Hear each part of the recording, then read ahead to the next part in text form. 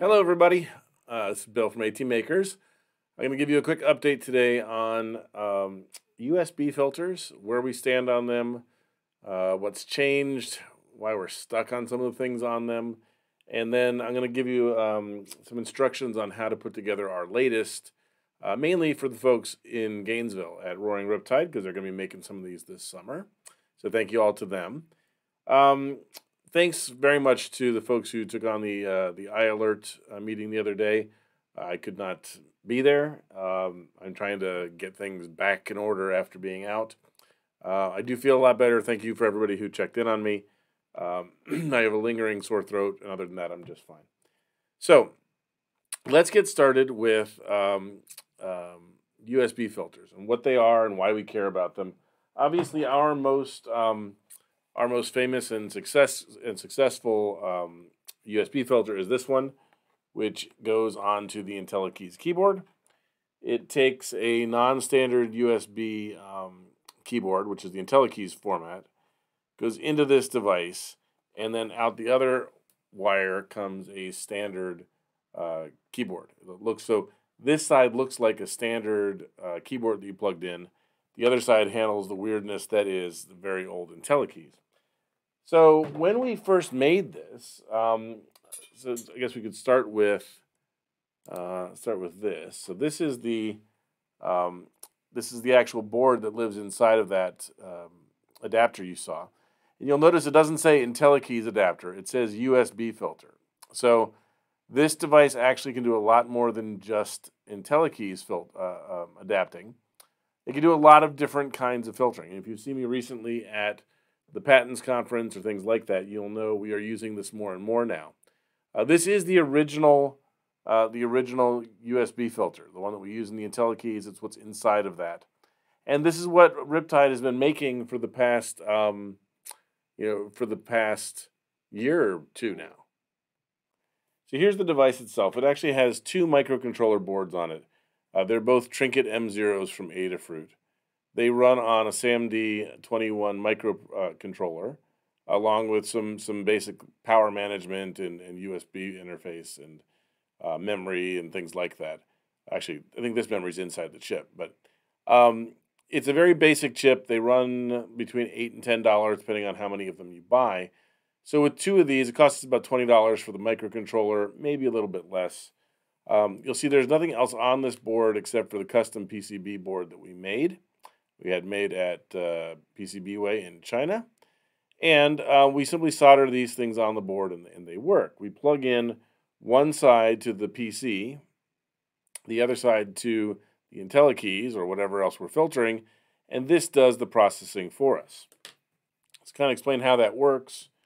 Um, here's the PC, the tablet, the Mac, or whatever else is, is we're trying to use the keyboard on.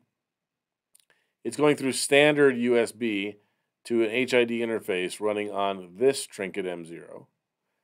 This Trinket is running CircuitPython, which makes it very easy to modify and tweak and make, make uh, serve our needs very well. It communicates between the two boards over these little wires you can see here uh, through something called UART or um, just serial communication. And then this one is running Arduino, because Arduino can be a USB host. So we plug in um, the IntelliKeys into this. This knows how to host an IntelliKeys um, uh, interface. And so this guy constantly reads the IntelliKeys. This guy is constantly talking to the PC. He'll say what's changed. This guy will send back what has changed, and he will send out the appropriate human interface standard mouse and keyboard interface uh, events. So that's how this device worked, and it really kind of works really well. Um, there's not there's not anything inherently wrong with the design of this. There are just some limitations in the hardware that cause some issues. Uh, so let's talk about them. Um, the cost is actually pretty good. It costs about twenty five dollars, uh, twenty dollars for the two microcontrollers and then one of the things that kind of sucks about this is that it actually requires a um, an on the go adapter or a very special micro uh, USB to USB printer cable, and that's what we use with the IntelliKeys. So it's between two and five bucks for those cables. So we're, we're right about $25 to make this.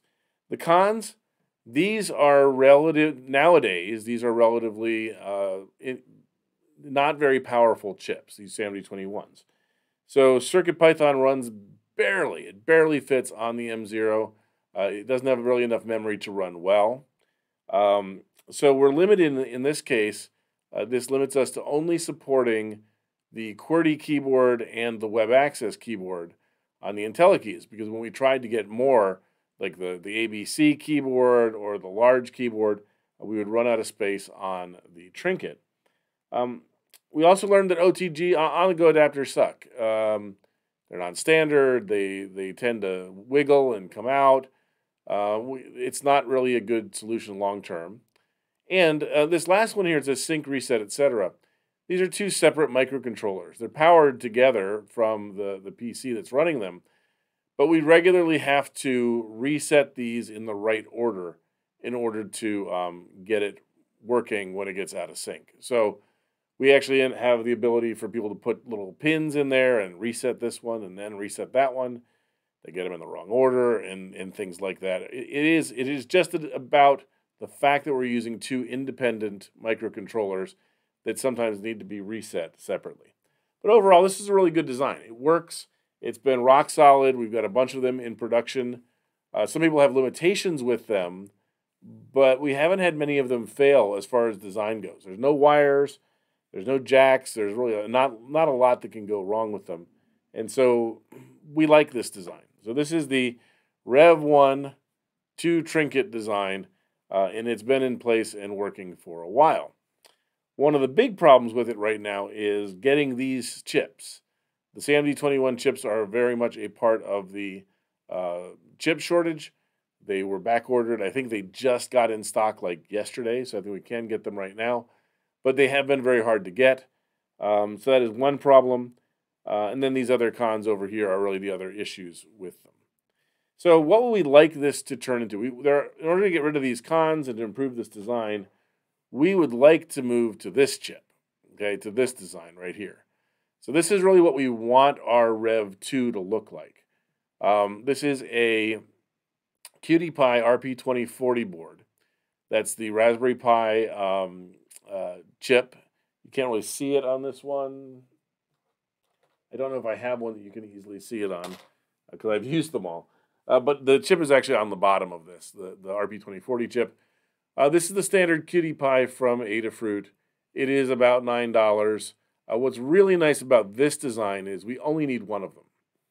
So you'll notice there aren't two chips anymore. There's one. There's one chip, and then there's a second um, USB-A female drive. And that means we can take any mouse or keyboard or anything, plug it right into here. We don't have to have any weird adapters or on-the-go cables plug the other one directly into your PC, and really, you don't really even need to have a case for this. You can just wrap it up in, whoops, wrap it up in electrical tape, um, and just have a, an adapting cable. So I like that design a lot, um, and it is where we want to go. And to be honest, we would like to be here now. Um, we would like to be using this design right now. So if we look at how this one would work, uh, the Rev 2 which has one RP2040 in it. We still have the host over here on the left that we're trying to talk to the PC, the tablet, or the Mac. It talks USB into the RP2040 QT Py board. That's this board right here, this square. And then this uses what's called PIO to talk directly to the USB jack. So we only have one chip that we're managing here. It has two cores. We could use both cores, or we could just have a task uh, that runs um, one after the other, you know, do a device task and then a host task. Um, the idea here is that this will run within one chip. The cost obviously is in half, so it's about $9. We only have what the MCU and the jack. I would bet we could get that down to $9 pretty easily. The cons are tiny, tiny USB or teeny USB, which is what we need to make this work, doesn't work yet. Uh, it, it doesn't have all of the mods needed in order to do this little PIO piece right here. Um, we've been waiting on it a while. Um, they're working on it. There's, it's going to take some amount of time. Once Teeny USB works, there's a second piece that says CircuitPython. CircuitPython has to support USB host, and that's going to be at least another month uh, before that happens. So this delay right here is actually the big issue. Is these cons? It's this delay, and right now we've got people who use the IntelliKeys keyboards, people who want um, a, um, a, filtering mouse, like a, a, mouse that removes shakes and, and tremors. Uh, and we, as much as we want to use this design, uh, we're going to have to put out some um, some boards in the meantime. So we have a third design that tries to solve some of the problems. Let me kind of show it to you first. It looks like this.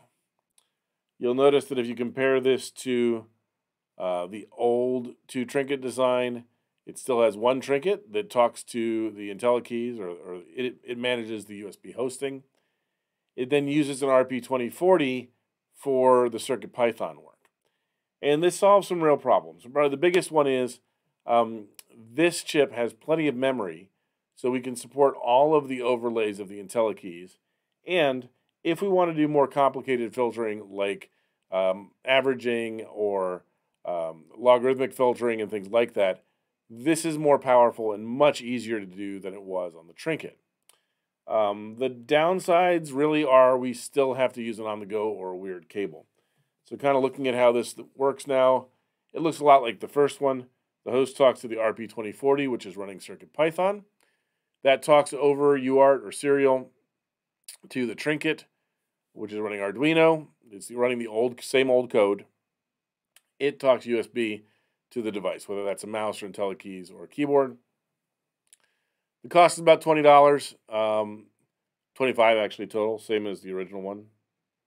Um, the con is the on-the-go adapter and sync and reset. Now, um, I did figure out a way to fix sync and reset in this design by using one of the spare pins um, over here, like one of like A2 or A3, to drive the reset pin. So that when you reset this one, it would automatically reset that one. That actually will help, and um, I'm going to add it to the next release. But at this point, we're going to ship out some of these right here that people can use in the meantime. So I think that catches people up on on the different versions of the um, the adapters. So I'll kind of put them all together here. We've got the initial one, kind of the halfway point that's using the RP2040 for the CircuitPython work, otherwise working the same way. And then kind of the third one here, which completely gets rid of the second microcontroller and does it all on the single board. Now, um, I would love to get to this. To me, this is kind of a holy grail thing we've been working towards. Um, we are driving it on the software side, trying trying to get that done. But in the meantime, this is what we have working today. Now, as far as assembling these, it's pretty straightforward. Um, just like the originals, whenever you're using a trinket, you're going to get one that has a, a strip of headers that comes with it.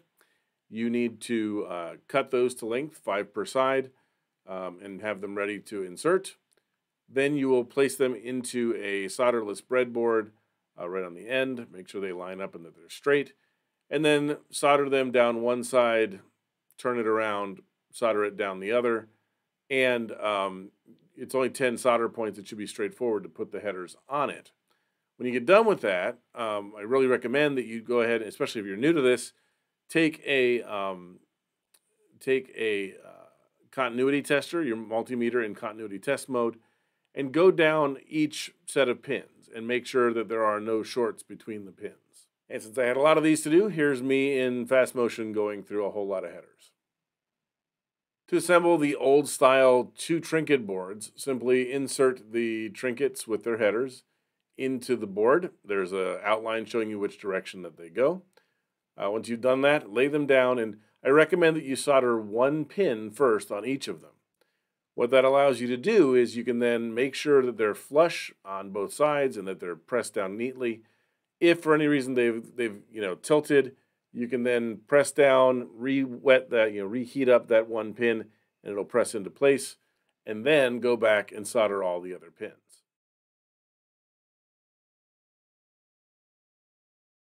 After you've soldered in all the headers, you're going to want to flip it over and trim all of those long headers. We don't need the length and they're just going to get in the way. So we're going to cut them off, but then after, and make sure you either wear eye protection or you, in my case, I'm using a, um, a magnifying glass.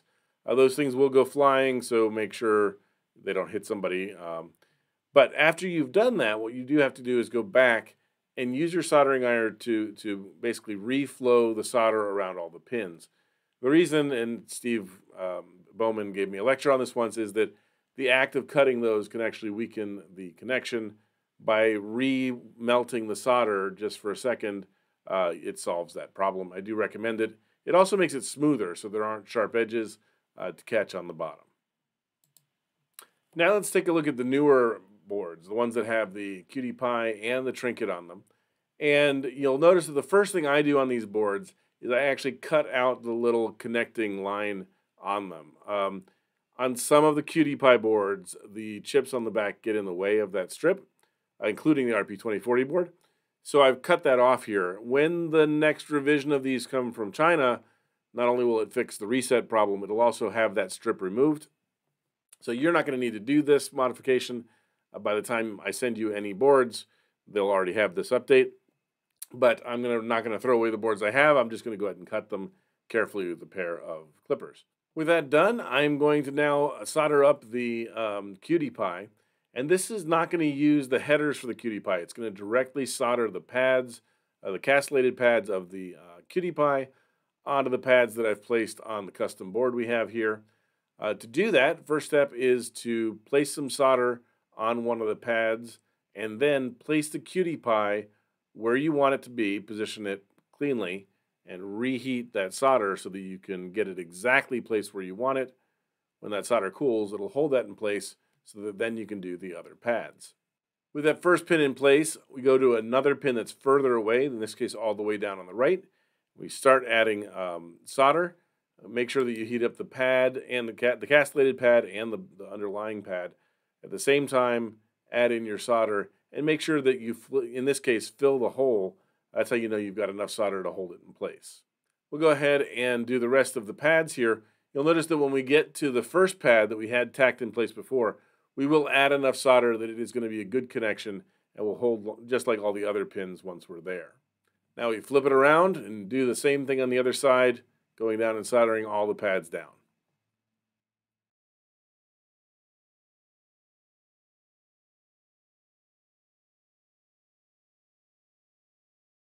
Just like with the headers, you can use your continuity tester to test both whether or not you have shorts between the pads, but also you can test whether or not you have a good connection between the pad on the QT Py and the pad on the board by just touching them together, making sure you have a good tone. Now we'll place the trinket on the other side of this board and uh, place its, its um, headers through the holes. And just like we done on the original board, we'll solder one pin in place make sure that that's nice and neat and straight and that it's not popping up, and then go back and solder all of the other pins.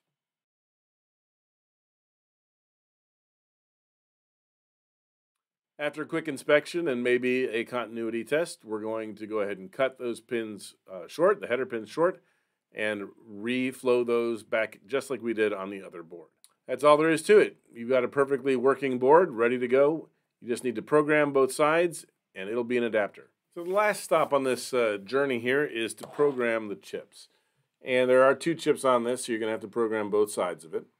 Um, in this case, in, in both cases of these two, which are ready, um, one of them is running CircuitPython and the other one is running um, Arduino. Now, in this case, I'm going to just walk you through programming the Arduino side of one of these. You'll understand that it's the same for all of them, and it is pretty straightforward. Because I'm going to make an IntelliKeys adapter out of this, I'm going to go to the iKeys adapter um, GitHub page. I'm going to go under software, and the first thing I'm going to get is the Arduino side, the keyboard side, and I'm going to download this UF2 file. Okay, I've already downloaded it here. Locate, located right here. iKey, iKeys kbd.uf2 file, and that's what I'm going to load onto this this board in order to make it work. Um, to do it, it's pretty straightforward. You plug in your um, the side that you want to program. In this case, it's the trinket. I'll plug it in, it'll light up. You'll see, in this case, it came up with a little CircuitPy um, drive. That's not really what you want for programming, and sometimes that won't show up on some devices. So what you want to do is you want to double tap this, um, this reset button. And when you do that, you'll see the CircuitPy goes away and, and a device here called Trinket Boot shows up. All you've got to do is take this iKeys keyboard file, drag it onto Trinket Boot. This will now copy it over, reset the chip, and it is now programmed. That's all you have to do to program it. When you want to do the other side, you'd grab the CircuitPython file, the UF2 file, and you'd copy it over as well. Now, on the QT Pys, we may have to have a second step there to copy some additional files over. Um, but if you're just doing the trinkets, that's all there is to this. So that's all I've got for this update. Um, it is a very exciting area for what we're doing. Uh, you're going to see a lot more USB filters coming out. Uh, the most exciting new one coming out is going to be the mouse, the tremor removing mouse. Uh, that requires a chip like this or one like this. It won't work on the old kind, but um, I'm really excited about them. I think it opens up a lot of possibilities for things we're going to try and do. And these are pretty well tested. If you if you're looking for a way to take USB in on one side, do some kind of manipulation to it, and pass USB back out. Uh, this is a really good design. So, thanks for your patience and uh, your attention. And as always, have good luck and have, I forgot my own tagline good luck and have fun.